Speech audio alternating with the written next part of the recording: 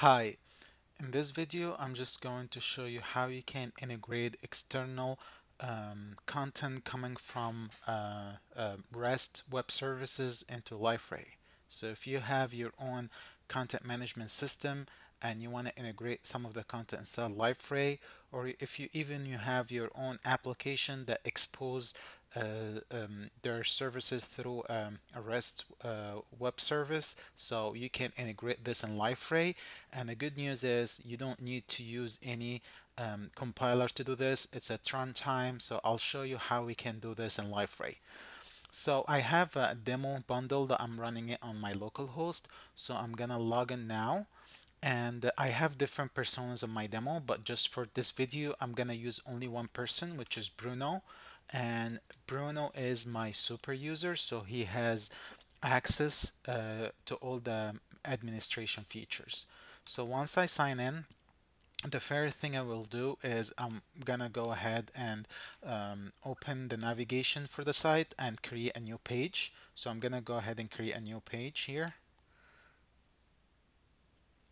And I'm gonna name my page anything. So let's let's name it now test and I'll give my page to be one column layout. You can make it one column two column. You can choose any uh, layout you want for your page.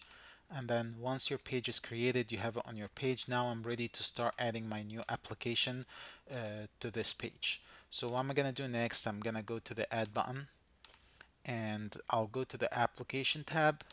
And under the application tab I'll look for something called web content and I will drag and drop and add this to my page.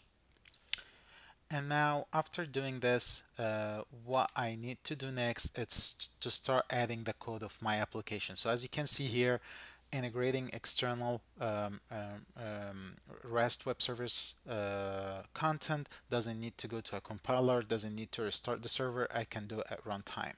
So what I'm gonna do, I'm gonna click add and I'm gonna add a new uh, content. But just before adding my code, um, I'm gonna open my browser so there is a public uh, um, REST web service that whenever you call it, it get you back all the countries with a lot of details like the language, uh, the capital, everything. So you can actually use this REST API. Um, it's public REST API. So I just use this and I'm gonna create some code Liferay to code this uh, um, REST web service and actually create um, a drop-down menu for all the countries and whenever you choose a country it show more details uh, for this country. I already created the code. I will share uh, the link for where you can download the code under the video but here is just basically I add my style I add um, I add some script here that actually call um, this API and then they get the results. And whenever I choose anything it just shows here the details I, I uh, of, of a specific country that I choose.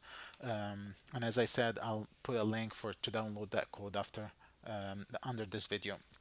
So I'm gonna copy the link now and I'm gonna go ahead and add my go to the code tab and now I'm gonna add my code here. So that's all my codes. And now I click done and on the top here I'll give it title so let's say countries countries okay and um, the good thing about it I can still use the out-of-the-box feature that comes with Liferay even while I'm integrating an external content or external application.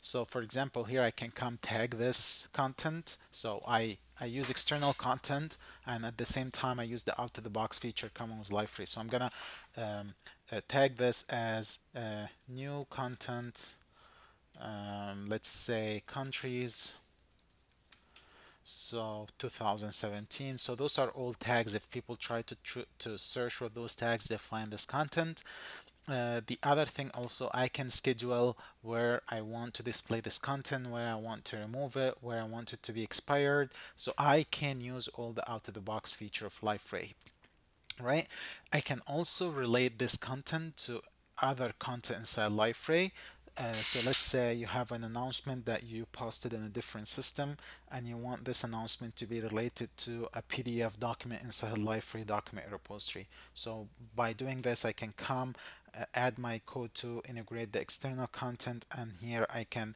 come and say I want to um, integrate this content with a document inside my document repository. So I can come and say uh, this content is related to any file I have in my document repository. I'm not going to do that now but just publish this.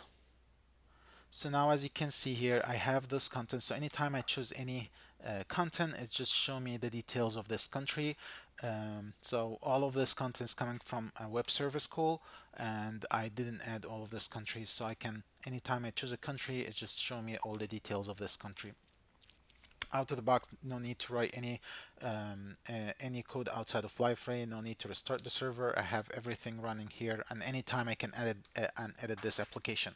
And again it has all the out of the box feature comes Liferay as, as I was showing the tagging. Here also I can do the permissions so for example I can add a permission here to say I want this application to be visible only for logged in user. So I'm gonna uh, remove the view permission from guest user and by doing this if for example I log out now so I'm just gonna log out from Bruno just go back to the same page test page. Uh, as you can see I don't see any application here. I need to log in to view this application. So as you can see the page is empty. There is nothing here. If I log in with Bruno and go back to the same page so I'm going to go back to the test page. Now I can see the application again. So you integrate that content and you can use all the out-of-the-box features of Liferay. Right, um, that was uh, my demo for uh, this video. Please um, um, check the code on in a link under this video and you can write any question and comments. Thank you.